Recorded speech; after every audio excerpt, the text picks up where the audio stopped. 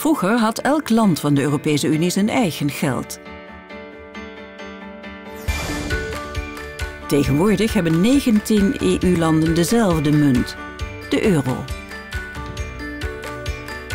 338 miljoen Europeanen staan samen sterker met de euro.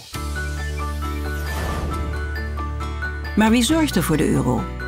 Dat doen de Europese Centrale Bank en de centrale banken van de landen van het eurogebied. Zij geven de eurobankbiljetten uit. De Europese Centrale Bank staat in Frankfurt am Main in Duitsland. Elk land heeft zijn eigen nationale centrale bank. Meestal staat die in de hoofdstad.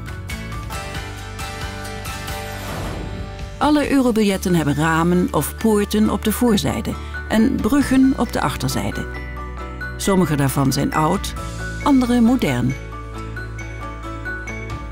Omdat bankbiljetten waarde hebben, proberen misdadigers ze te vervalsen.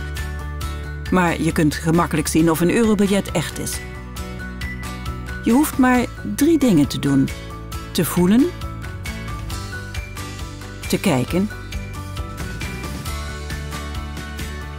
en te kantelen.